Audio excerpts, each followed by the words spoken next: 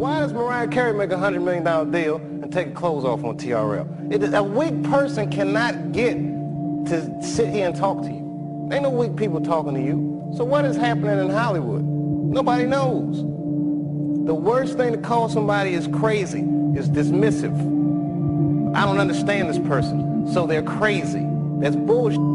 These people are not crazy. They're strong people. Maybe the environment is a little sick.